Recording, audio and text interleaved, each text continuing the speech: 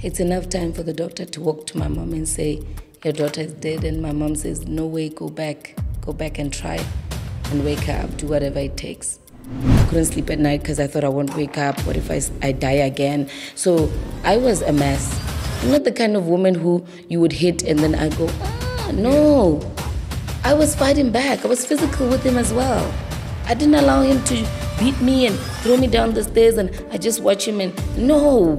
My marriage was never a fairy tale. Even in the girlfriend and boyfriend stage, it was never a fairy tale. The only reason I got married was because I'm pregnant and he wanted to marry me. The person Mokgadi was getting married to is somebody I went to high school with. He is primary school and high school. He is actually my younger brother's friend. So he's younger than me, and I've always seen him as this, ah, my younger brother's friend. So when it was time to kiss the bride, yo,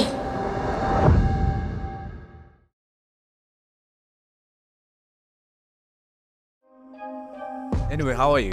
I'm good, just as I'm good. I'm happy to be here. Yeah. Um, I'm just a little nervous. I never get nervous with interviews, but today I'm nervous. How come you're nervous? Really? Because of the questions you ask. Pilawena, you seem to dig deep. Like, Serious? yes, your questions are quite um, provocative, you know, th- thought provoking. If you don't know your story, Yeah. don't sit in front of Justice. It's you. You will be thrown off. You know. So, I guess at the end of the day, I'm just telling myself, ah, no, no, just go there, and he will probably ask you something about you, so you know you, you know your story, right? Yeah. Even though I did a little bit of a research here and there, so I can be chronologically correct. Yeah. Yeah. Yeah. Yeah. It's crazy. I always try to uh, make people to want to know the other side of a person. You know, uh, something that people don't normally know. Oh, that's why you dig so deep. Yeah, I try. Well, I try. I don't. Uh, I, well, I've got my line. Like I, I'm not supposed to jump on the other side because people might end up saying some family stuff and whatever that they dealing with. So I. I wish I had like some sort of therapist in the background and you know, so something like that. Anyway, tell me about your kids. How is it like raising? You have two kids, né? Yes, two. Two. My gosh, three. Yes, actually, you can say oh, three. I have an adopted kid. I'm sure.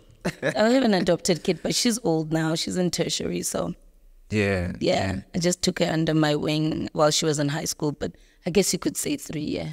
but the ones that come from me, from my body, from my womb, are two kids, two girls. Ne? Yeah, extensions of me. when you look at how you're raising your kids, do you think it's it's similar to how you were also raised in a way? No, totally different. Yeah, totally different. Absolutely different. I do not raise my kids the way I was raised. yeah. Sometimes my mom even gets shocked. You know, she was here for the December holidays, and the way they have such freedom in the house, my mother doesn't get it sometimes, you know. Mm. And I always say, a house is for expression, it's not for impression. Uh-huh. So you don't come home to impress who? You can't live in a clean house as if people don't live there or got it's a hotel. Sometimes it's okay to leave your shoes there. You'll pick them up in the evening and take them to the bedroom. Hmm. You know, you don't have to live in a squeaky clean house like you're even afraid to put your feet on the couch. You hmm. know, so a house is for expression. Express who you really are, not impressing visitors. Hmm. You understand what I mean? That's one of my rules, you know. So since I'm talking about my family, can I take these off? Thank you. By the way, you look stunning. Thank you. I dressed up for, you know, I take you guys seriously. So I thought, you know what, you better also look serious. You know, don't underestimate people's work and crafts. For somebody who doesn't know, like myself, how was it growing up in the family that you grew up in? Ooh, um, you know, I come from your typical black family. When I say typical, I'd say uh, both parents are civil servants, you know, teachers, and uh, um, you know, they were both just well trying their level best to create a home for us, right? Um, in society, from a bystander, you would think we're a typical family, typical black family. Parents are teachers, kids are going to Model C schools, they're living in the suburbs. They're really trying to you know, live a life of what we call middle class society. But when you get into it and you put on your magnifying glass, you will see that there's quite a lot of things that are not balanced. You know, um, I have a mother and a dad who lived under the same roof, but my mother carried both roles by herself um, as the matriarch and also the patriarch of the family, financially, um, you know, in raising us as well, instilling values. So, as far as I remember, I was raised by my mom. Uh, my dad was just there by name. and when I say by name, I mean he was there every day, but um, we don't talk, we don't have any lessons from, from him. Instead, my dad was like somebody we took care of, you know. Um, my dad had his own issues. Um, he struggles with substance abuse. But I say struggle to put it lightly. He doesn't see it as a, as a problem. And you know, if you don't see something as a problem, you'll never fix it, right? Yeah. yeah. So um, I always say it's one thing to have a father that left and you don't know your father and your father left and probably started another family somewhere. It's one thing to have a father's presence in the house, but that father was never really present emotionally, psychologically, financially. Yeah. I don't know what it feels like to run to my dad and cry and say so and so did this and this to me. I don't know. I don't know any of that. So a father figure to me never really existed. I, I don't have anybody I look up to as a father figure aside from Abba Father, our Heavenly Father. Hmm. Yeah. Um, just to add on a, a little bit to that, um, that kind of an environment afforded me to have quite a close relationship with my siblings. Um, we have a hero complex towards each other. We want to always be there for each other. Like, we may not be there for each other for the mundane things, but we always save each other in the midst of problems. Like, I will kill the bull for you. I got your back. What do you want me to do? I'll give you my last cent to go to that interview. We always have each other's back because we didn't grow up in an environment that um, was, you know, comfortable, you know? And if there's one thing that we all agree on as the three siblings, me being the firstborn, uh, only girl amongst two younger boy siblings, we always had this. So um, you guys are. We three. We three, okay. So I'm the firstborn. I'm the only girl to two younger boys, and if there's one thing we all, we collect we collectively agree on, is that um, we gotta take care of this woman, our mom that has raised us. Um, it, sometimes it was hard for her. Most of the time, it was hard for her. But uh, we all want to just make her proud. And we are taking care of her now. We want to take care of her in a way of just thanking her for the sacrifices she made to raise us within the situation and the marriage that she was in. She still showed up for us, you know. So everything that happened in your life outside of your home, um, whether you've been bullied or anything else, you would come back home and just directly speak to your mom. Oh no no no no no! My mom, my mom is not a person who just allows uh, one to I'm trying to find a proper way to put it. I like to call her a tough lover. My mom is a tough lover. Um, you can't run to my mom and cry. She's gonna say, toughen up, mm. toughen up, pull up your socks, do what you gotta do to solve the situation. She does not have time for crying. My mom doesn't have time for crying. She's a tough lover. She instilled the rules. Um, she still believes in the notion of you spare the rod, you spoil the child, you know. Um, and I think that's how I got to accept her love. In the beginning, it was kind of confusing. Oh, this woman doesn't love me, you know. She's too, she's too tough, man. I cannot even cry to her as a girl about certain insecurities or, you know, bullying at school. But I think that's just her way, her method of raising us. She wanted us to be tough because the world is tough, you know? I'm only starting to talk to her intimately now in my adulthood. Wow. Because she maybe sees me as a, you know, I'm on her level. I'm a parent as well now, you know. Yeah. So yeah. hence why I said I don't raise my kids the way my mom raised me. I give my kids space to to speak openly because I don't want them to run to somebody else to talk to when they have a mom at home. Hmm. So my mom never really allowed, yes, that's what I'm looking for. My mom never really allowed vulnerability. That's my mom. And I think it's just the generation that they come from. Vulnerability is viewed as weakness.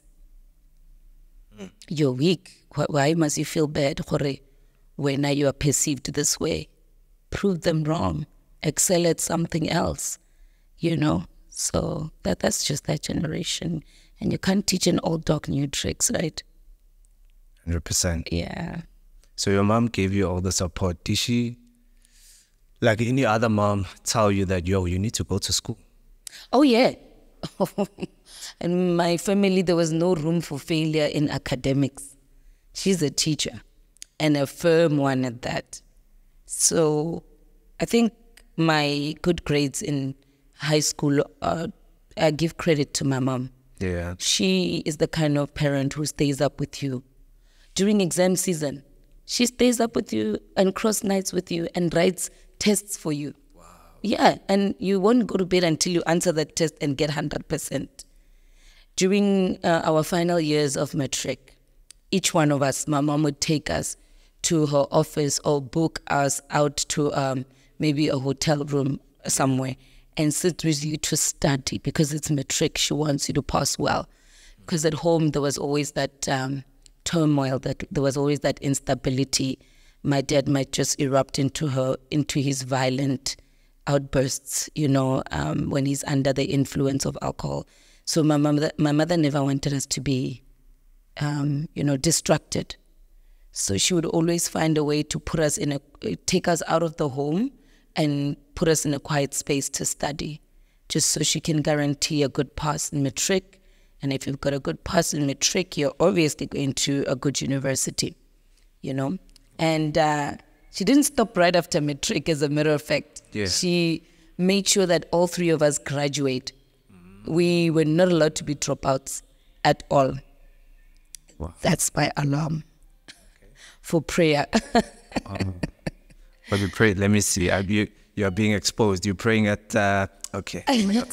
Every three hours. Oh, is it? Yeah. Wow, that's- it's that's it's um, it's January. Don't you do the January twenty one day? Oh, 21 day fasting. Yes. Let me wait for you. Sorry about that. Let me switch it off in case um no, but it's on flight mode. That was just the alarm. The next one will be will be done. Yeah, no, stress. Thank you so much. I don't I don't do the 21 day fasting. Don't get me wrong. It's it's very effective. I actually do it before. Oh. Yeah. In December. In December. wow. Yeah. Must take a lot of discipline, hey? Yeah. I do it. No, um, it's just the it's a tradition in my home. I don't belong to a particular church, but my mother and I do it. My brothers don't participate, but my mom and I have been doing it for years. Okay. Um, that's why on the thirty first you can never find me at a party because I'm always at home, pray. You know, Yeah. so we do start it before Jan, but then when people start theirs in Jan, they usually do it for detoxing, right? Yeah, yeah, 100%. Um, yeah. So I was Wait, wait, wait. Detoxing from what? From December. from December? December groove. Most people I are didn't know. yes. Jeez. No, no, no. It's it's all over social media now. It's a thing now, right? So people I can see they're saying, "Oh, let's start the 21 day fasting, intermediate fasting," they call it, and that for them is to detox from groove, the beverages that you were drinking, and the weight that you've gained over December holidays. Because all we do is eat, eat, eat. You know, Come a little bit closer. um, we always eat and we, we have like your choice assorted Yeah. several colors. eh. So I think people are doing it to just reduce the fat they gained over the festive season. But um, I do it for spiritual reasons. So of course, just to be in alignment and understand who do I need to be in this season that I'm stepping into. You know, yeah. And just also pray over your goals, man. You can't just write goals down and then you don't pray about them. Who's going to help you fulfill them? You know what I mean? Speaking affirmations. Yeah, yeah. That's great. So when you were in uh, grade 12, you probably had a goal, you know, that you wanted to achieve. I know you from Skeem Saam as an actor. Um, it's it's so shocking that I actually found out that you studied psychology, and that blew my mind. and I also found out that uh, you stayed in the U.S. Yeah. for like four years.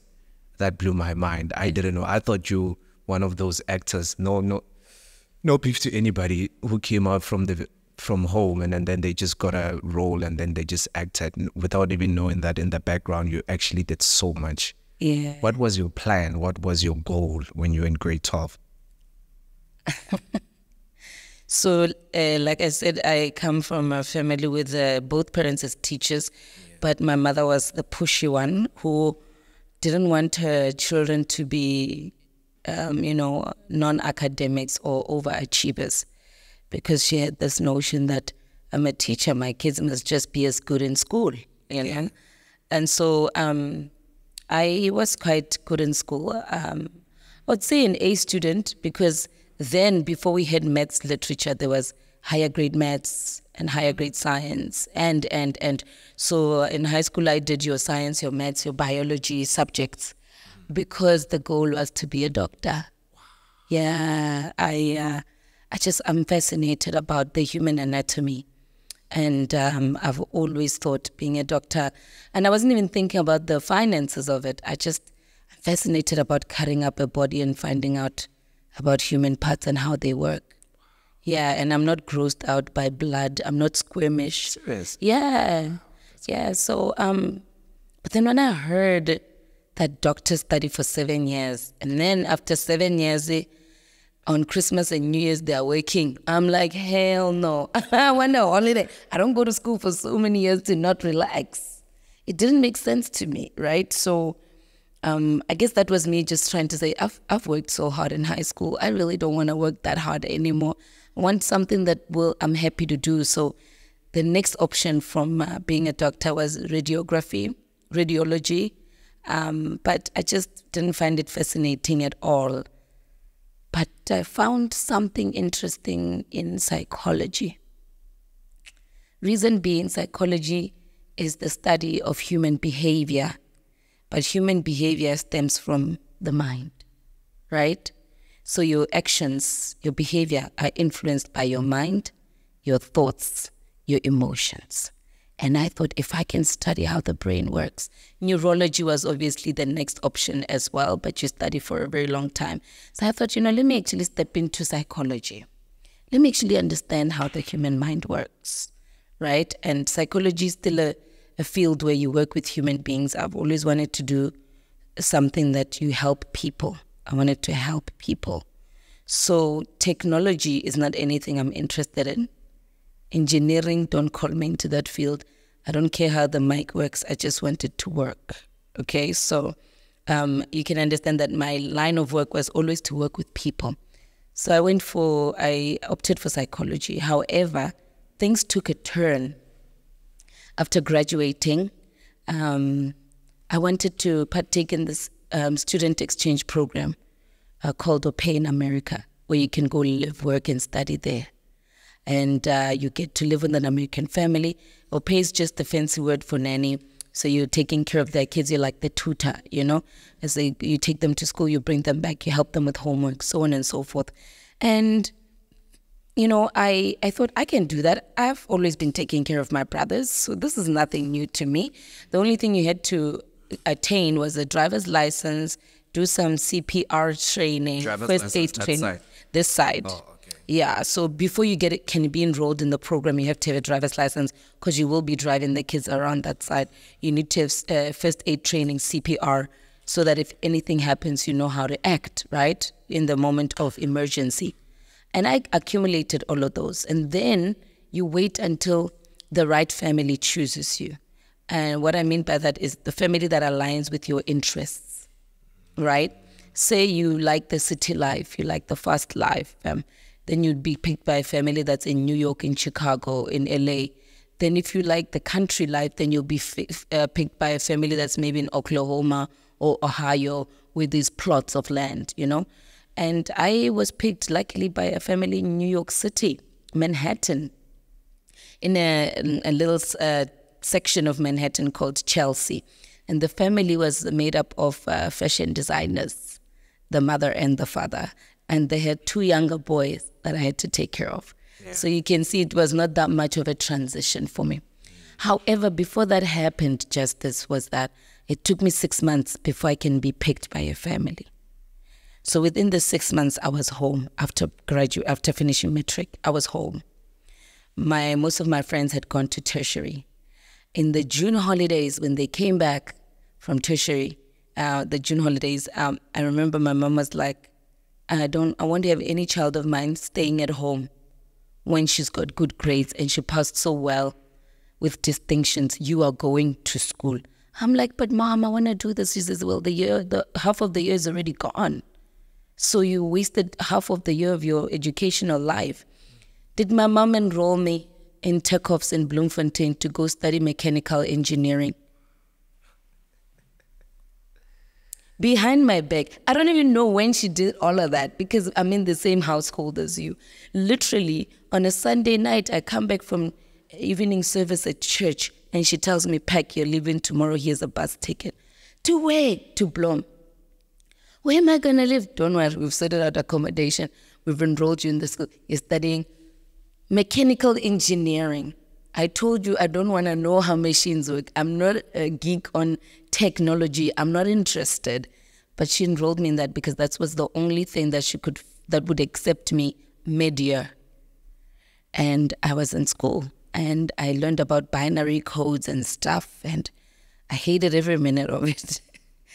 and it just so happens that by the September holidays, the family that wanted me contacted us. And she said, well, What are you going to do? You're in school studying. I'm like, Of course I'm dropping out. I'm going to America. Where do you ever get a chance like that? I'm going. And I dropped out of mechanical engineering. And um, I remember I landed in the States on my 19th birthday in 2004. So yeah, I left South Africa on the 8th of November and I land, on the 7th of November and I landed on the 8th. But because the program requires you to go to school as well, um, it's part of the deal that the American embassy made with the South African government. You can't just go there to work. You have to go to school part time. And that's where I chose psychology. That's where I started. Wow. Yeah. So I was studying psychology at uh, Borough of Manhattan Community College. And when I relocated back to South Africa, I just took the credits and I just used them at UNISA and continued with psychology. How come you don't, like, you never have an accent? Yeah, like. Um, it's there. If I want to bring it out, I can. You know what I'm saying? It's hidden, you know? Uh, it's just that sometimes I just don't think people understand me. As most dating, because South Africa, nobody wants to hear an accent. Obviously, like obviously, a lot of South Africans they're bashing people that are going to the states. I mean, I, have been back for over ten years, guys. The accent has dissolved. You know what I'm saying? Uh, my best friend still lives there, okay. and when she's back this side, the accent switches back to this side. You know, South African accent. As soon as she lands. As soon as she lands. I think it's something you tell yourself. Honestly, the accent thing is just the hooks. Really, you can switch it up. We know you can. You just don't want to. you just you just switch up on us. Something like that. Yeah. Yeah. So you come back from the US, come to South Africa. Um, do you start auditioning or do you enroll in something else? Okay, so um, since I was already used to earning a salary from a young age, yeah. um, I had the option to either go to school full time. I've always wanted to go to UCT. So my mom said, Well, don't you want to continue psychology at UCT? My problem was I, I was not comfortable with the idea of not earning a salary because uh, from the age of 19, I'm earning $300 a week. And back then, the rand to the dollar was a thousand. So per week, I was earning 3000 from the age of 19. Obviously, I didn't know what to do with the money, so I just always sent it back to South Africa for my mom to do with it as she pleases because she was uh, living as a single parent, right? Financially, she did not have help from my dad. So I always used to just send the money back home. But upon returning, I knew I wouldn't be comfortable going to school and not earning and not having my own income and financial independence. So I opted for working. And because UNISA, you can part time study there, I decided, let me roll in UNISA instead. So that's how I ended up in UNISA.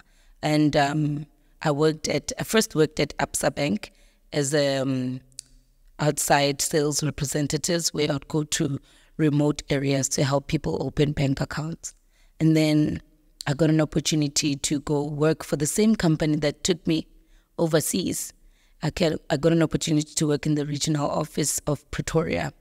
And eventually I moved to the regional office of Gauteng, and their offices was in UJ. UJ had UJFM right next to the office that I was So working everything is literally linked together. yeah. So what people don't know is that I started radio when I was living in America.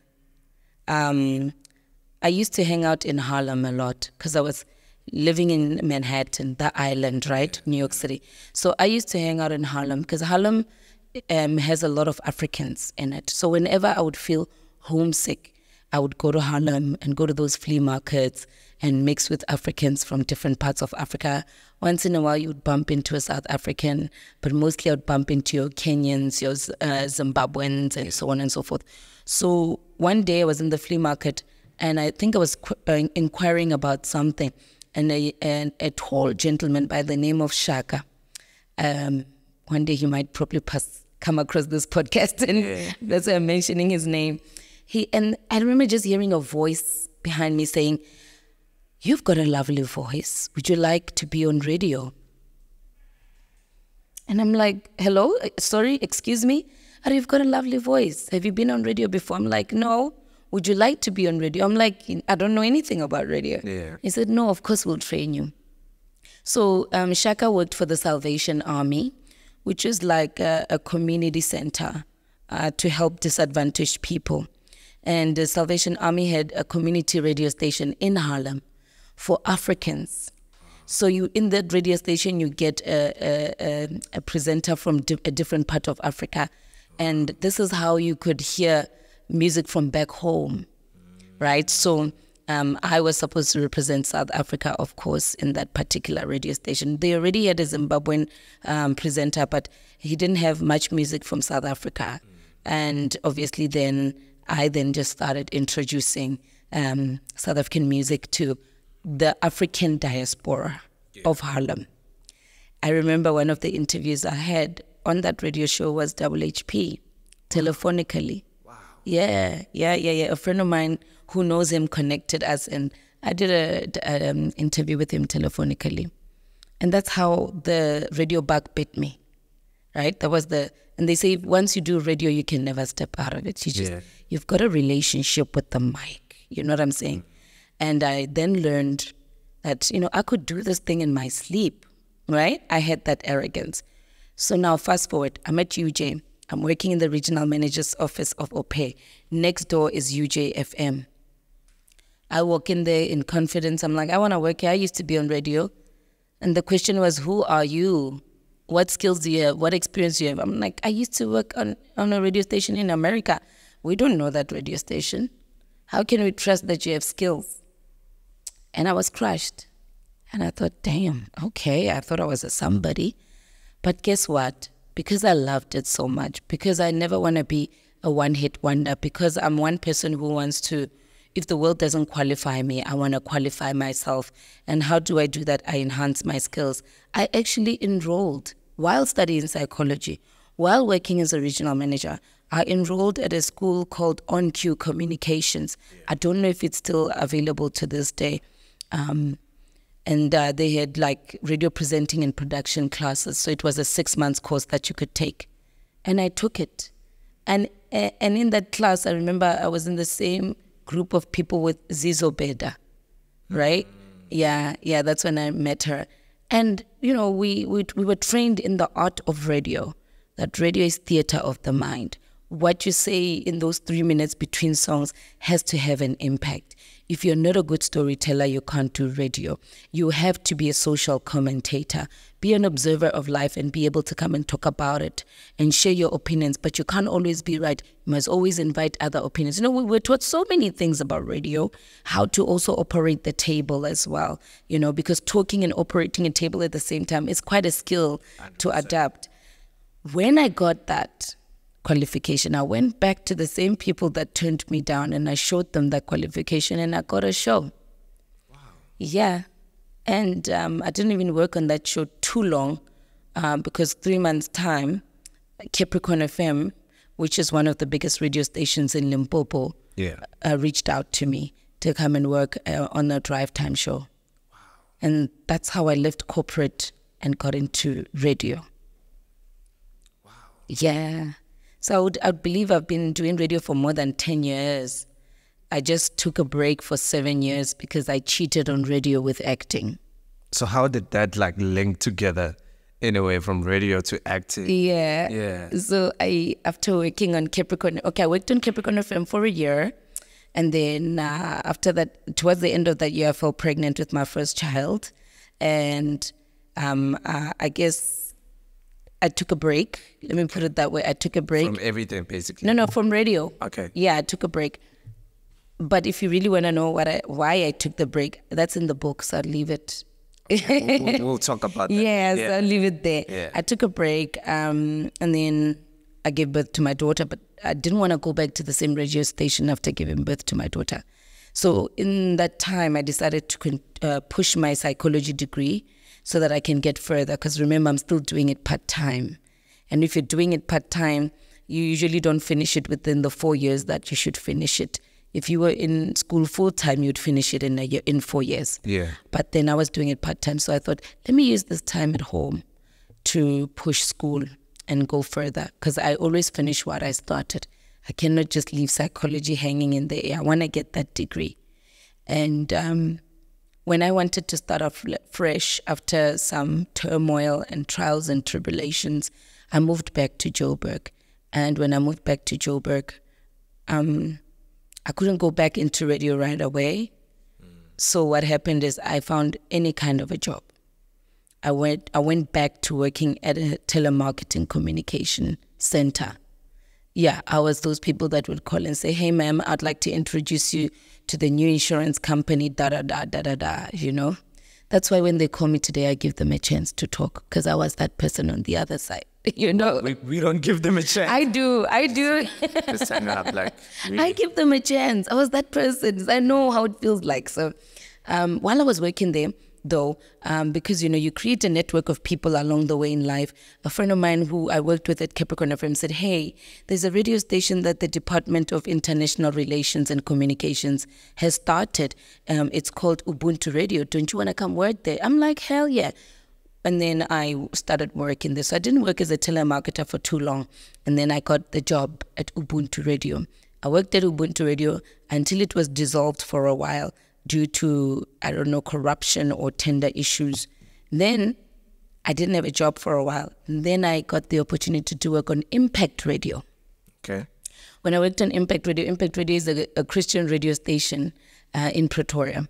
And in Impact Radio, I remember I was working with um, um, one of the ladies that uh, I ended up working with at Skeem Saam. But anyway, I'll connect the dots. I worked in Impact Radio. From Impact Radio, um, I remember one day I saw an advert on Facebook saying that there are auditions at Skeem Saam. Uh, Skeem Saam auditions in Hammanskraal. And well, I'm from Hammanskraal. How come I didn't know about them? So that was when? That was back in 2014. Oh, yeah. Okay. So they had auditions in Joburg and in Hammanskraal. I knew very well that Where the auditions. Um, Kemba. some building, I think they're, they're, they're government buildings. So it, it looked like a school.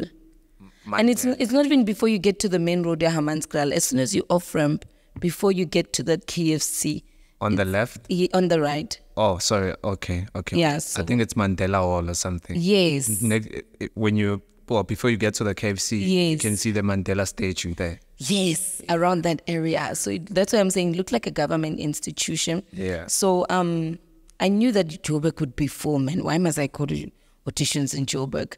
So, and also I was going with um, a cousin of mine who had been in the acting industry all along.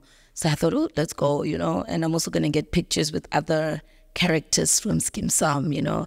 And I loved Skeem Saam because it's from, it's a, it's a Sepedi drama. So I felt like I own it, you know. I felt like it's our thing to be proud of, you know, here in Joburg. And I knew certain characters as well. You know, your my my co-star on Skeem Saam is somebody I went to school with. yeah, so it's people I know, and I thought, mm, let me go and take pictures as well. When I got there, um, I remember one of the people who was uh, giving us our numbers said to me, "Why don't you audition?" I'm like, "Yeah, I'm here to get pictures. You know, That's I'm just here to get pictures." He said, No, audition. I don't know what to do. I, I don't know anything about acting. And he said, Put together a monologue. And I don't know what a monologue is, but me being me, I went and Googled, put together a monologue, I translated it in Sepedi, and auditioned. And I just thought nothing of it because I was hella funny. I just, I went there to have fun. I went there to have fun. And two weeks later, I get a phone call and guess what? The phone call was that the auditions, they had different characters you were auditioning for. So you could pick what you were auditioning for. But this particular character that I was called in for was not up for auditions that day. It was not a character. They were still coming up with the character. There was probably going to be, they were probably going to do close auditions. I don't know. But two weeks later, I got a call. Listen, we are considering you for a role called Mokgadi She's going to be a journalist and uh, she's going to be interviewing Leeto. It's just a short cameo role, you know. It's just like three, three scenes, you know. So you'll probably be shooting like three days, and then that's it. I'm like, oh, okay. Um, will I get a little bit of training because I don't know anything? So don't worry, don't worry, we, we, we got you. I can you work on radio? I'm like, yes, I work on radio. Yes, she's a journalist, so you you pick up a few things. It'll be easy for you. Mind you, I'm not a journalist. Ne? I'm a, I'm a psychology student. it just happened that. But I just happened to work yeah, on radio, yeah, right? And but uh, that worked for you. But also because I qualified myself. Remember, I went to On Cue Communications, so I learned journalistic uh, rules and ways of doing things. You know, credit your your source and so on and so forth. And um, I remember when I went there the first day for fitting and screen tests they loved me and I did my cameo role, three cameo roles. And I thought that's it. That my, that was my few minutes of fame.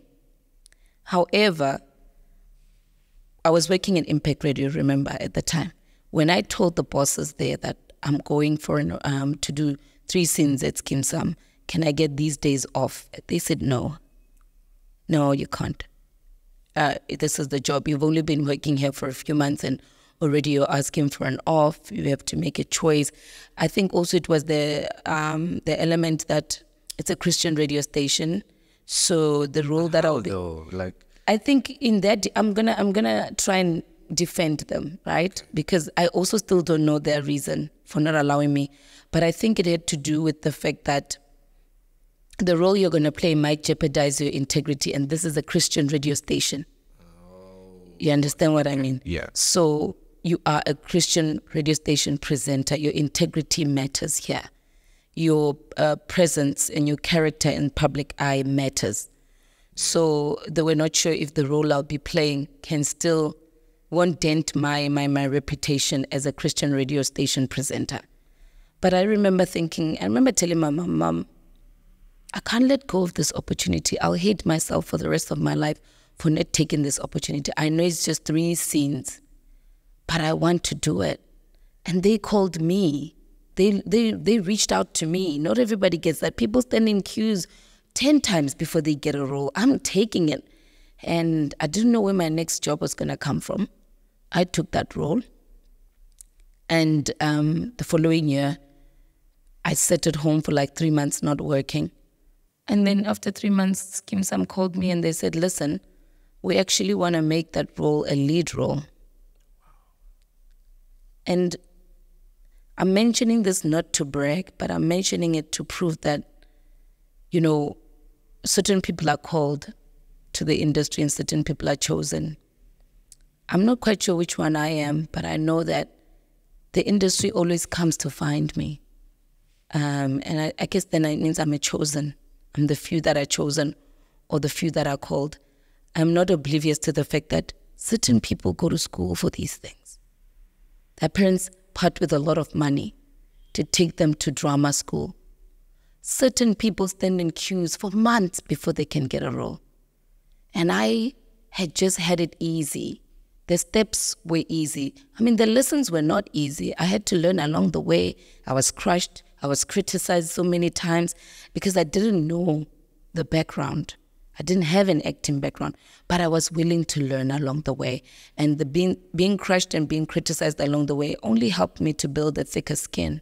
You know what I'm saying?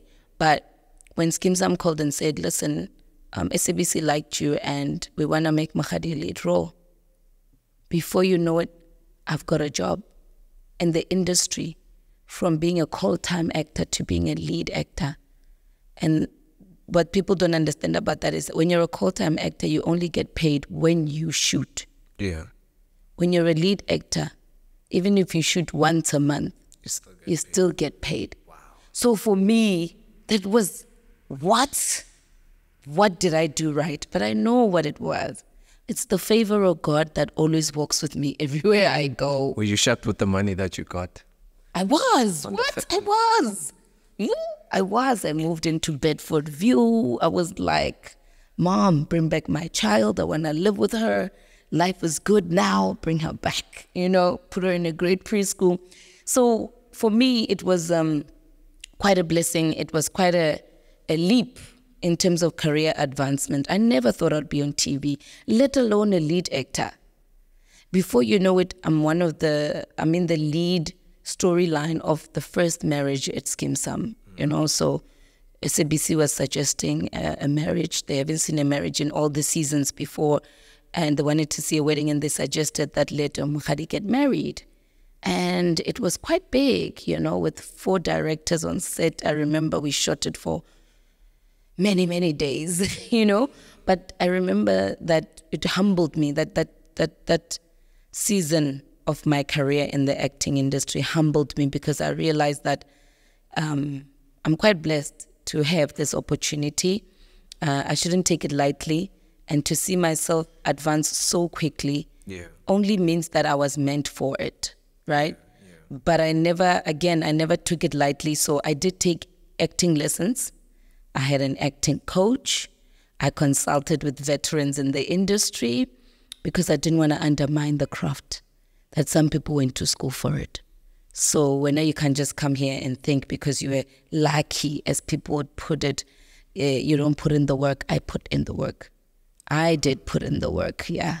I remember when I shot the, the wedding, I even went vegetarian for a while just so like I can look like a a proper bride with the hourglass, you know.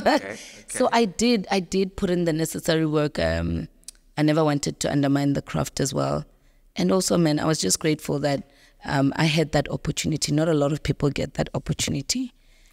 Yeah, and, and I think that's how the world gets to know me today. They know me as Mokgadi uh, from Skeem Saam. The time when you got married on set, Yeah. was it your first time In a wedding dress. a wedding dress? Yes, a I, white wedding dress. I cried when I first put it on. Were you married before or No, not got never. Uh, married at all? It was so surreal. And I've always, from the moment I put it on, I knew that I don't know if I can beat this in my real life. Hey, I don't know if I'll be able to beat this experience in my real life. Um, it's going to be a little bit difficult for me to remember how it felt because then I was Mokgadi and that's a different person. So for me to remember how she felt means I need to tap into her. But I remember when I first put it on, I cried because, you know, when you see yourself in a white dress, it's that thing out, oh my word, I'm a beautiful bride. This is happening. I'm about to tie my life to somebody else's life, right? But the funny thing about that wedding, guys, is that the the person Mokgadi was getting married to is somebody I went to high school with. He is it's primary school and high school. He is actually my younger brother's friend. So he's younger than me. And I've always seen him as this ah my younger brother's friend. So when it was time to kiss the bride, yo, Do you understand how hard it was for me to, to be that person's wife throughout all those things? Because when it was time to kiss, I, I always said to myself, it's not, it's not your brother's friend. It's not your high school friend. It's your on-screen husband, you know? So um, that was the only challenge. But I think that's why we had chemistry. People are not aware that we've known each other since childhood. Our parents are even friends, you know? So uh, maybe that's why it was easy for us to co-act together. Um, but I remember, man, you know, walking in the Castepe and, you know, they're playing the Here Comes the Bride, and then it's the first dance of the first dance, and everybody's watching you. I thought I was going to trip on that dress and fall, you know.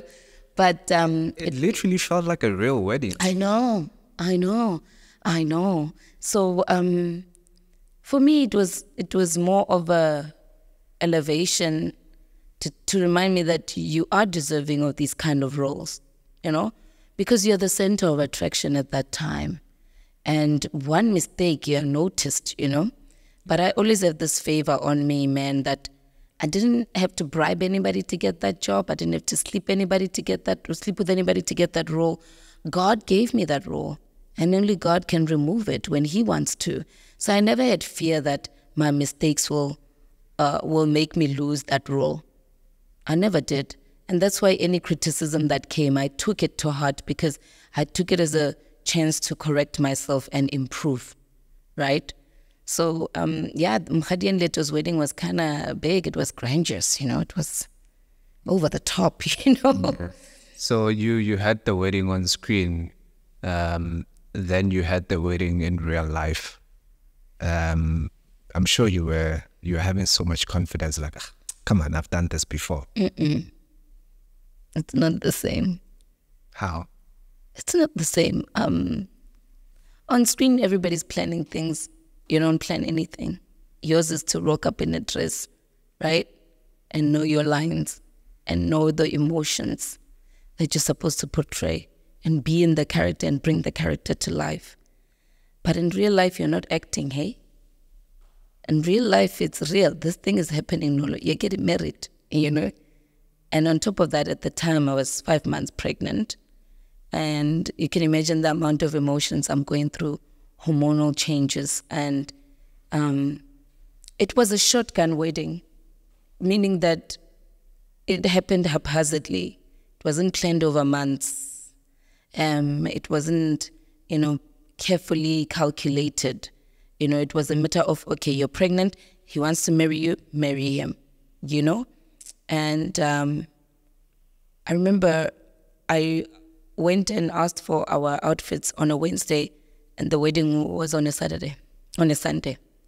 It was supposed to be on a Saturday, but it was the 31st of October, and that's Halloween. And I was like, nope, I'll pick the 1st of November. So I started, I started planning things on the Wednesday, and the wedding was on a Sunday because it took me that long to snap into it that you are getting married you know?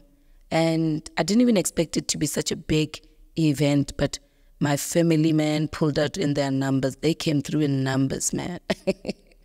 I don't know if it's because they never thought I'd get married because um, of the character I have, um, my personality, or is, be, is it because I'm the only girl amongst boys at home? I don't know. But my family was a lot there, man. Friends also pulled through, despite how late I told them.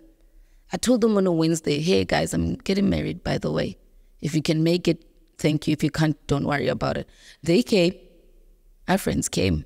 My cousins came. Family members from both my mother's side and dad's side pulled through, you know. Um, and luckily, it turned out well. The, the, the event was um, well orchestrated, I have to say, and big ups to my mom and my relatives that helped put it together.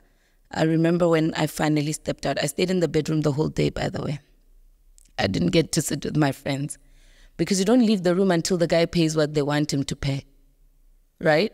So he was just not budging. The people who were representing him were not also complying with what was expected. And when I finally came out of the room, it was about to be sundown. So Rashapa stepped down the road there, you know, and it still didn't click then that I'm married. I have to be honest. It clicked when I came back to Joburg and uh, And now we're living under the same roof as husband and wife. Before we're living under the same roof as girlfriend and boyfriend, you know, and now we are husband and wife. And, you know, in my culture, one liar. Uh, they have to tell me, now I'm treat her like this and like this. And obviously, coming back to Joburg after that lovely weekend, I have to remember to treat him different now. You know, um, he's a husband now. Um, you must serve him his food. He can't stand in the kitchen on his own. You know, um, and and for me, it was the submission that I struggled with. You know, uh, but I did try. I gave it. A, I gave it. Why are you laughing? uh, Why are you laughing? The thing is that like I did try though. I gave it my best shot. I swear. We went for marriage counseling. That was my version of trying. We went for marriage counseling. I kept it going for a while. Despite the challenges, I tried to make it work. The, for me, I feel like there wasn't so much of a process. You got married last week. Yeah. Actually, let me just say this. So there are three weeks, right? The week before you got married, you are a girlfriend. Mm. The week after you got married, you are a wife. Mm. That was so quick. Very quick. You organized everything just like that. Yeah. And I wasn't just the wife now. I'm, I'm a wife and a pregnant mom to be again. Uh. It was just I think I'm gonna I'm gonna clarify this. I, I understand you're confused and Mm. let me clarify it for you. You are right when you say it just everything happened so fast and it's in the way it happened so fast that I was also left in a haze. I did not have time to recollect and decipher and observe the situation and say, Mara, wait a minute, I don't want this to ha- happen this way.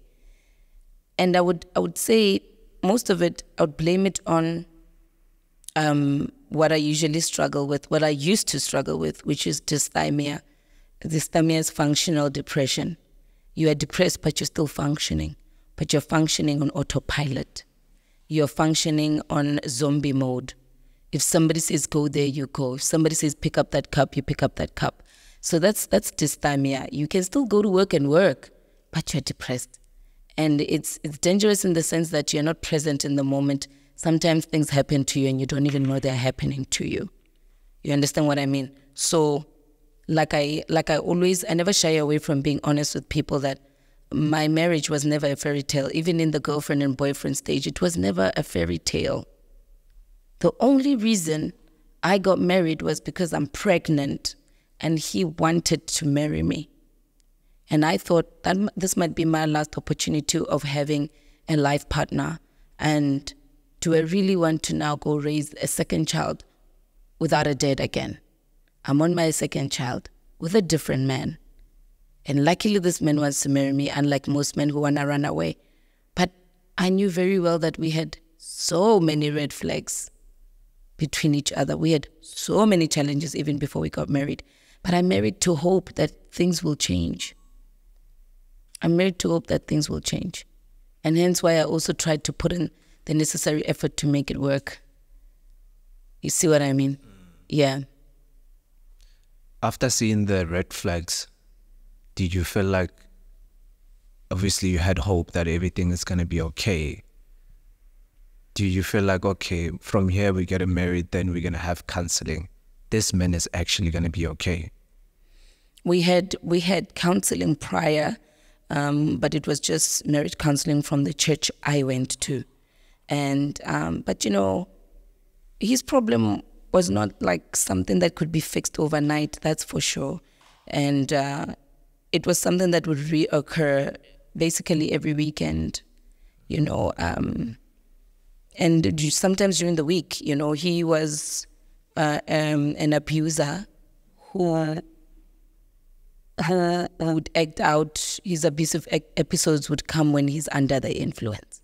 And i wanted him i wanted to help him right? And i wanted him to also be fixed. Hence why after getting married we opted for a professional marriage counselor. And we were seeing a marriage counselor. And that's where i learned that he's got deep rooted issues. You know he's an angry man with a broken past that he never dealt with. And as much as I knew his past, I thought his past would make him a stronger person. Hence why I can probably in the future rely on him as the pillar and the provider and the leader of our family, as the father figure I've always dreamt of. But he had deep rooted issues. And I knew when we were taking therapy, professional therapy, that his problem is not going to be fixed today. First of all, he needs to accept it, rehab, because that's the first point of correction. Let's fix that. If we can fix that, then we can also fix the psychologically deep rooted issues, you know? Because when you tell him what he did the next day, he doesn't remember. He doesn't remember. And he would cry and say, I'm so sorry. I can't believe I did that. What is wrong with me? You know, so this is somebody who would go from praying with you to wanting to kill you in one day because in between there's drinking. And I don't even know if it was just drinking. Maybe there were other substances involved, but I wasn't aware. But the way he would lose his mind and not remember anything that he does, I remember feeling scared that this is the kind of person who would kill me. And then in court, he would blame it on I was not in the right space of mind, you know, and they would blame it on uh, dementia or something, or amnesia, alcohol amnesia. I don't know. But I remember thinking, I don't want to be a failure at a marriage. I don't want to be looked at like that. Let me try and make this work. But I was making it work at the expense of um, hurting and destroying my oldest daughter psychologically because yeah. she's experiencing this with me. We live in the same household. She's he, she's hearing him call me all sorts of names when he's intoxicated. And then she has to come and ask me what did that word mean. She's seeing him shopping knives and say, Namhlanje ngizokhipha amathumbu.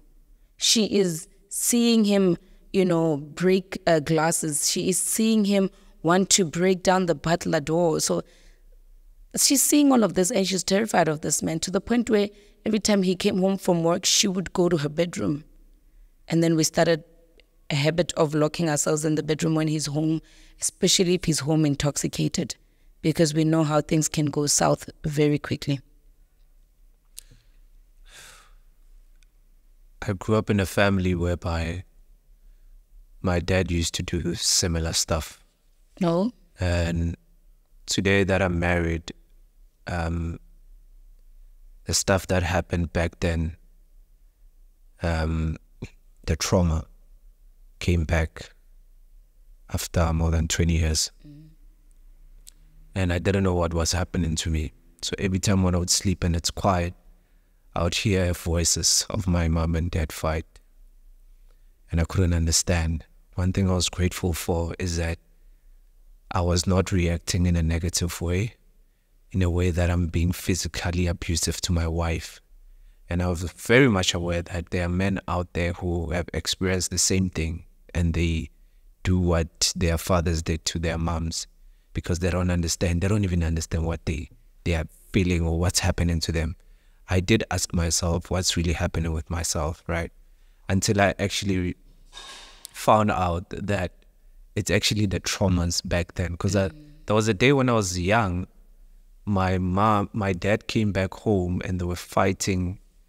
Um, my dad beat up my mom to a point whereby I couldn't take it anymore. My mom came to me and she found me shaking.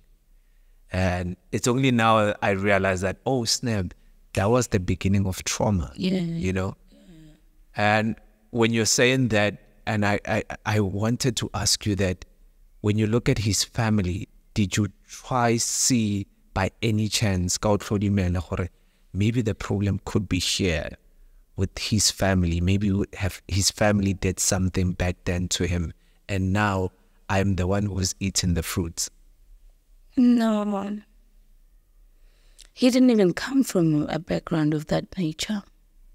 He lost his dad when he was six years old. He was raised by a single mom until he was 20 some 22 21 and he's the only boy amongst two girls and he's the firstborn and family members have detached themselves so they were left to to find a life on their own you understand what i mean so he does not have that kind of a traumatic past in terms of growing up in an abusive home. Um, hence why I didn't understand where his abusive nature comes from. But in his defense, I'd say he was an angry man. He is an angry man. He's angry at the world. He feels like it owes him something. Particularly what I mentioned that family members detached themselves. They literally had to find life on their own. You know what I mean? He had to find life on his own. And um, he's never really gotten much help, you know? So for me, I, I expected him to be somebody I can cry to about what I've been through. I expected him to be somebody I can cry to about the abusive relationships that I've been in prior to him. But like I said, his issue is really a deep rooted psychological issue because when he's in his sober state, he's a loving, gentle, soft spoken man. You know? And I remember thinking, even if I'm not sure about this marriage, but that character of his when he's sober, I love that character. You know, he's kind. He's a kind person. Everybody who's worked with him will tell you the same thing. You know, very humble, very respectful, very kind, very soft spoken. But once he gets under the influence, he becomes a different human being. He becomes a monster that even he can't believe himself when you tell him, you know. I used to say it's my fault that he's abusive because I lack the ability to submit to him. Maybe I'm not respecting him enough, right? Because I also know that I don't know how to respect a man because I've never had a father figure to respect. The father figure that was modeled before me is not somebody who deserves respect, you know. And even if even in times when I tried to to to, to reach out to him to gain his love and respect him so that I can gain his love in return, I never received it. So I don't have much hope in in in, in a man a man being a pillar for me to lean on or a shoulder to cry on or a provider or you know it's just i don't know i've never seen myself respecting a man in a way a woman should. And i've been told more than once that eh, hey, when i'm in nanolo hey, eh, in that department man you know? And it's something i'm learning to do. And the reason i'm learning to do it is because i have kids that look up to me.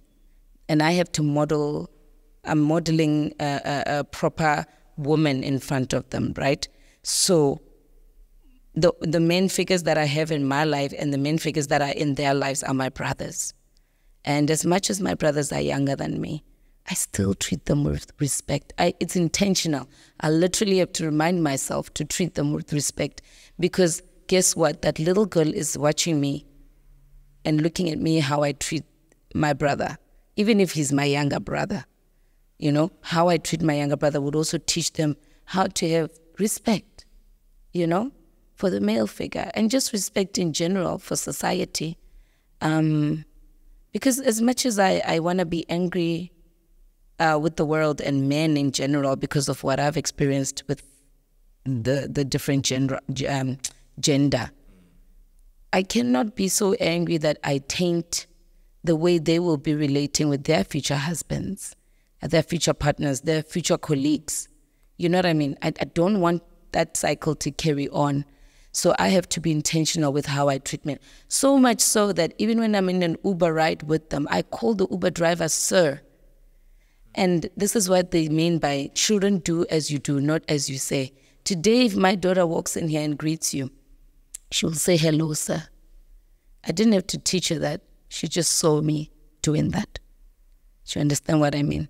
So, but um, anyway, just to quickly conclude um, the issue with my ex husband is that when he finally left, I we didn't maintain any communication, but when I pray, I do put him in my prayers that he can heal.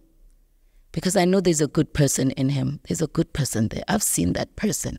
That's the person I was hoping to marry, you know, but unfortunately I saw the monster more than I saw the good person. And I'm hoping wherever he is, he's healing. I'm hoping wherever he is, he can find um, a way to deal with the trauma that he has as well. You know, um, and uh, I'm hoping that he can heal so much that he can finally have a relationship with his daughter one day. When you guys separated, were you? Did you already give birth, or was Yeah, okay? yeah, I had already given birth. Uh, my daughter was like one month. Okay. Yeah, How hectic was it? Because there's a, a bit of some stories on the internet. you lie. What did you hear on the internet? Well, you died for three days. Well, not three days. Whatever. These days I wouldn't be here. I'm not Jesus. You died for three minutes. Mm-hmm. Three minutes is good to warm up food in the microwave, yeah. but for somebody to die for three minutes, that's a lot of time. It is. It's enough time for the doctor to walk to my mom and say, Your daughter is dead. And my mom says, No way, go back. Go back and try and wake her up, do whatever it takes. That's how long it was, you know. Um, he wasn't there. When I went to give birth, he was already living outside of the house. He was already kicked out. And um, I mean, even in the short space of time we were married, literally every month he was out. I would kick him out. I, I guess that's the tough cookie in me. I'm like, I ain't gonna handle this. And also, I'll have to be honest, I'm not the kind of woman who you would hit and then I go, "Ah, no. I was fighting back. I was physical with him as well.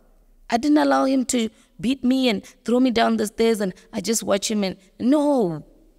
We must remember I grew up watching that. So I'm tough enough to fight for myself. I will fight you too. You know, obviously I would run away if tools came into the picture like knives and stuff and broken glasses. That's when I ran away, you know. But um well, every time we'd have a fight and I feel like, no man, this is damaging my daughter. Please go. Please go and sort yourself out and come back when you've sorted yourself out. And luckily he would always come back whenever there was a family mediation. You know, my mom comes through and there's that uh, you know, meeting and then they mediate for him and he uh, um, apologizes and says he'll find help. But, but but when I was going to give birth, he had been out of the house for a good two months or three months or so. In my last trimester of pregnancy, he was not living with us anymore. And then I went to the hospital, and there was that near death experience situation, dying experience, and coming back. Upon returning, the first month that we were back home, um, I didn't have much help. It's me and my infant child who I need, who needs special attention because she had complications at birth. I'm also trying to heal from the the birth situation, and uh, I fell under severe depression and I had anxiety. I couldn't sleep at night because I thought I won't wake up. What if I I die again? So I was a mess, and um, I remember he offered, "Let me come back home and help you take care of the little one." Nolo, you're not coping. I'm your husband. I'm still your husband. Let me come back and help you. You can't be so stubborn. I promise I'm a different person. I've changed.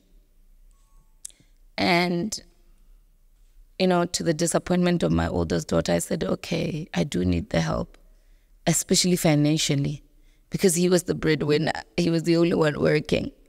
And he came back, but he only came back, I, I'm sure, about three months. And then that was it. The, he, we had a final straw that was my scariest moment. And that's the moment, the only moment I ever recorded. Because I've never recorded him in his episodes. So other people would never believe me when I told them what he did. When I was confiding in certain people, they would never believe him because of his humble, soft spoken stature. And I'm this loud, vocal girl. So they all think, ah, it's, it's you. It's probably something you did. You know what I mean? So I finally recorded him so they can finally see that it's not what I did, guys. He really is an abuser. He really did this. And that was the final straw on a camel's back because that day I thought I was going to die. I thought he's killing me. I thought if he's killing me, can the world at least know how I died? So there's no backstory, there's no assumptions. They must just know how I died, and my kids must know as well. So I recorded him. But in the recording, as soon as I turn around, um, I find my oldest daughter, the youngest one was sleeping, but the oldest daughter is sitting in a corner, shaking and crying. and terrified. And that's when I knew that this can't go on. You mentioned that you realized that you were dealing with your trauma in, later in your adulthood, trauma that you picked up in childhood. I have the same situation. I grew up in a, a family where abuse was was always there, and it was all types of abuse. You know, physical, verbal, financial. You know, psychological. And I'm only learning to deal with it now in my 30s. And if I allow this to to perpetuate, this child is also going to have to deal with the same thing I'm dealing with. So when are we ever going to cut it? When are we ever going to cut this cord of this vicious cycle? Somebody might say it stops with me, and stopping it with you is not going to be easy. There will be consequences, but I was willing to take those consequences. You know, I was willing to have a failed marriage. I was willing to um, struggle for a while financially. I was willing to start from scratch with nothing. I was willing to raise this child without his help because he was that angry. You know what I mean? Because my biggest mission was I've already messed up by marrying this person when I knew there were red flags, when I could have waited for things to be better.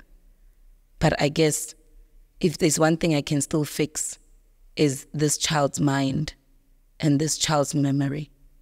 If I can fix that, I've done something right, you know? But I am not, I'm not in any way shameful that the marriage didn't last. I'm not. It's, if anything, I'm relieved because we, it was gonna be a struggle. Oh, it was gonna be a struggle. I knew that we were never gonna reach three years there. I just knew we fought all the time, all the time. So with all the months put together, because it was on and off, on and off, I'd say we were married for nine months. But we never registered our marriage because it was customary, right? We never registered it. It never really got far. We, we never even changed surnames at all. It was never acknowledged by Home Affairs. So um, our parting ways was pretty much easy to do because we had no legal issues to sort out. So it was a matter of you go your way, I go my way. Don't call me if you need me because you're kicking me out. I'm like, it's okay, we won't call you. It's all right. After everything that has happened, how's your relationship with God? Oof. Hmm. I don't know who said this in the in the Bible. I don't know if it's Paul. I don't know if it's David. I don't know if it's Job. But it was one of them who said, It is good that I was afflicted because it drew me closer to God. Even though I walk through the valley of the shadow of death, I shall fear no evil, for I know thy rod and thy staff will protect me a rod and a staff is a stick, right? When a shepherd is busy herding the sheep, he holds a stick to lead them in the right direction. If they go that way, his stick goes this way, and then they will all follow into that direction, right? But then, when the when the Bible says in that particular uh, uh, Psalms, "Thy rod and thy staff will protect me," it's not necessarily meaning that whatever evil comes your way, God will smite it with his rod and staff. No. If a sheep walks astray, a shepherd breaks one leg of the sheep so it starts limping. And if a, and if a sheep is limping, it will never walk astray again. Because if you walk astray, the wolves will catch you and eat you, right? As a sheep. But if you're limping, you stick next to your shepherd because you're afraid that if a wolf come, you won't run away, right? So, with me narrating that story, I'm trying to say that I went through challenging times, you know, a marriage that fell apart, a near death experience. My health was in shambles. And I felt like my life might as well end. I used to ask God, why did you let me live? Why didn't you just let me die in that hospital that day? Because look at me now, I'm a mess. I'm an emotional mess. I'm a physical health mess. I'm a social mess. My life is upside down. I have nothing to live for besides this child who's who's here now, who I can't even raise because financially it's a strain, you know. So at one point I felt like there's nothing to live for. But it was in those moments that I drew closer to God because I was limping. Some part of me was broken. Some part of me had been sprained, you know. I was walking with a limp. And I drew closer to God because I knew very well that I was never going to make it without God. That has always been my way out of life. I don't know any other way. I don't know any plans. I don't know who to run to. I don't know what scam to do. I don't know which nyanga to visit. I've never known any other way when I am in a dark place but to run to God.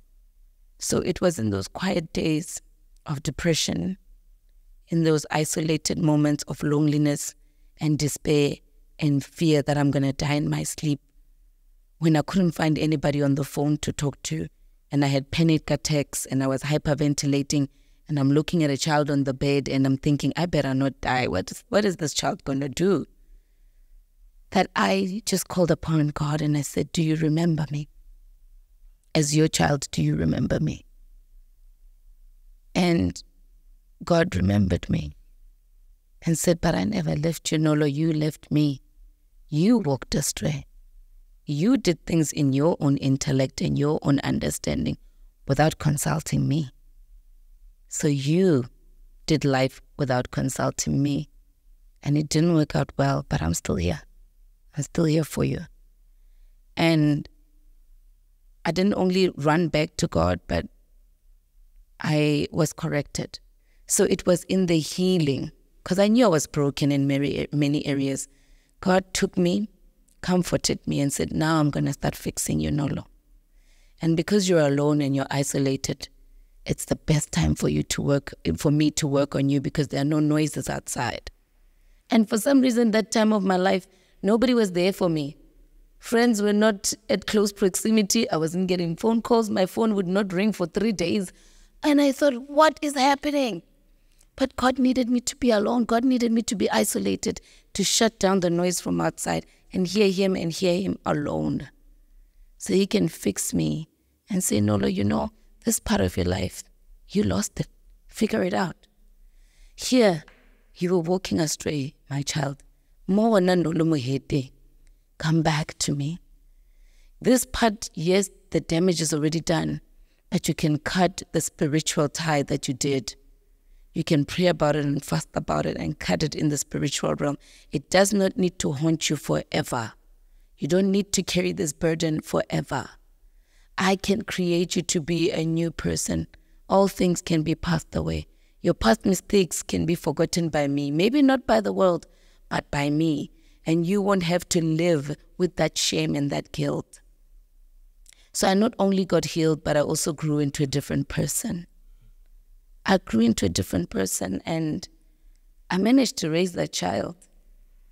I managed to raise those two kids on my own with the help of God and not with a permanent job. I'd get jobs here and there. I'd get assistance, financial assistance from my mom. But I didn't have enough, but we survived because Jireh, Jehovah Jireh, provided. I remember at one point saying, Oh my goodness, Heavenly Father, what am I going to do? In our industry, when you're out of sight, you're out of mind. If you're not seen on screen for a while, people forget about you. Does that mean I have to start looking for a job in the sector of psychology? What am I going to do? I won't be able to just walk back into the industry and get something right away. And you know what my God said? My God said, with you, out of sight and out of mind does not apply. Because every job you've ever gotten in this industry always found you. You've never had to chase, it always came to you. So you can't be the one worried right now. Relax, I'm working on you. There are things I need to fix in you. Your broken parts need to be put together again. In the meantime, focus on the process. When it's time, I will put you back on that platform and I will accelerate you And my God did accelerate me because I also got the idea of finishing my book in that season of being alone and being close to God and leaning on Him and hanging on His every word like it's oxygen. That's what sustained me. And I managed to write a book that is so impactful that to this day I read it and I'm like, damn, I wrote that, you know, because everything was spirit led. Everything is honest, everything is raw. And I wasn't writing it to, to, to, to be popular again. I was writing it for my healing. And then I remember one day God said, Okay, remember those pages you were writing every time you and I would have our conversations? Put together those pages, theme them, and put together a book. Because if you could heal from this and become the person that you are today, who's barely recognizable from the person you used to be, then it will help somebody else. And that's how the book came to, to life. You know. But if there's one thing I can tell you, is that you do not have a near death experience and remain the same. There's no way. There's no way. Something about you has to change. And something about me did change. If anything, I just discovered who I really am. And maybe I was sleeping on myself for the longest of time, you know. So, um, yeah, my relationship with God is pretty cool. You know, we sit together. Yeah. we chill. We, you know, eh, sometimes I'm like, when I pray, I always ask Jesus companionship during the day. And what I mean by that, I always say, you know, throw it back at me. You know, when I bounce an idea, throw it back at me. You know, I, I want to feel your presence everywhere I go. You know, um, eh, on lonely nights, like I become literal about everything. On lonely nights when I'm like, Joe, and I don't have a person, and I'm single, I'd feel Jesus' companionship where I can have deep conversations with in Jesus and not feel like I'm alone or I'm lonely. Because you can't speak to kids about deep stuff, you know. My kids can't always hear me talking about deep things. They won't even understand. So sometimes when I'm longing for that connection and deep rooted conversations, I just go grab a cup of tea, sit in my living room in the dark, even. You know, I don't have to put on the lights. And I'm like, you know, I want to talk to you about this particular thing. What do you think I should do? That's how casual I am. I don't have to put a scarf over my head and kneel and, and, and you know, recite a certain. No, I just call upon God in Jesus' name and really just talk casually, like I'm sitting with you right now. And then I sit in silence and wait to hear what God says. So I am so dependent on God right now that I don't feel comfortable doing anything without consulting God first anymore. You know, Your story is so inspiring. it is. Yeah, just that is just one of the. It's just another. story. Nah, nah, nah, nah. I think for those who, I'm sure they they want to know the full story. I, I'm sure they need to go through the book. Oh yeah. Oh yeah. How do people get the book? Okay, so at the moment I'm selling the book in my own capacity. I'm hoping very soon that it's going to be on Takealot so that they can deal with the logistics of delivery. I did not know that was going to be so challenging. Yeah. But right now, if you want to get the book, just go onto my Instagram. Unfortunately, that's the only medium that I use. Um, for those who know me personally, obviously, they know where to find me. But um, for those who don't, just go to my Instagram. It's a public uh, profile, and uh, there's an email link there. So you just send an email. We'll send you banking details, and you will uh, revert back with your um, address where we should deliver the book to you. You know, there's so much peace in knowing yourself, and so much power in self-awareness. Um, you deal with the challenges of life differently. You don't get easily frustrated and anxious. Ah, no, now I'm very chilled. You know, I deal with adversity in a chilled manner. I'm like, okay, I see, but I know what I have. I know what I possess, and I know how I can tackle this. You know. Thank you. Thank you so much for letting me speak so freely.